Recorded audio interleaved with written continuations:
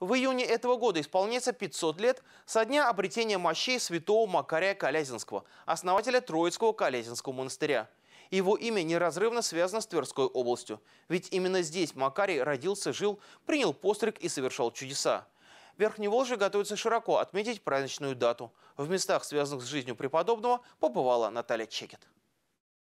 Знакомство с историей жизни Макария Калязинского начинается в Николаевском Клобуковском женском монастыре, который до 20 века был мужским, и куда в 1424 году пришел преподобный Макарий. Здесь он принял постриг и прожил 10 лет. А построенная им келья веками сохранялась под открытым небом. В 1903 году над ней была построена Макарьевская часовня. Однако в 30-е годы прошлого века была утрачена. Но в 2009 году ее воссоздали на исконном месте по подробному описанию в житие святого. В житии Макария Калязинского а, было записано, какой а, ширины, какой длины, какой высоты была его келья.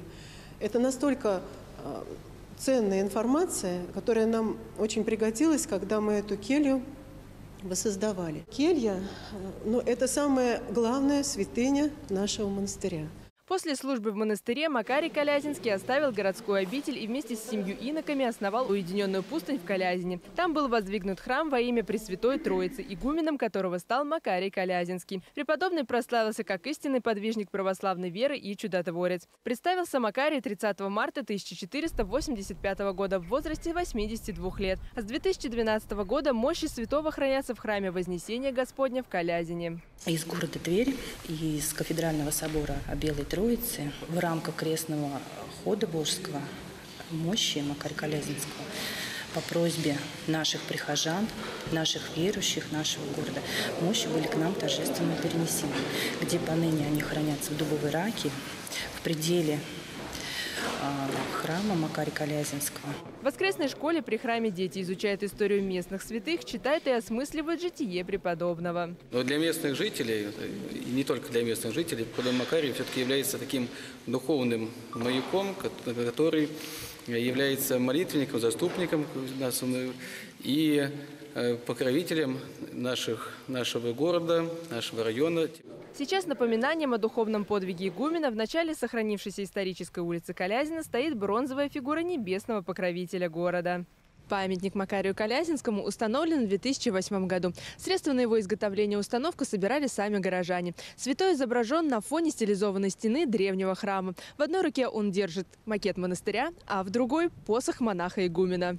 Уже сейчас Калязинская земля готовится к торжествам, приуроченных к 500-летию обретения мощей святого преподобного Макария Калязинского, которое будет отмечаться в этом году 8 июня. Одним из главных событий празднования станет 22-й Волжский крестный ход. Планируется, что Калязин посетит около 2000 паломников. Составили реестр мест размещения. И, конечно же, будем в первую очередь размещать вот наших дорогих гостей. Для паломников, например, которые мы ожидаем э, прибудет накануне порядка двух тысяч, будет развернут палаточный лагерь на территории Калязинского машиностроительного техникума. Это закрытая территория, асфальтированная площадка.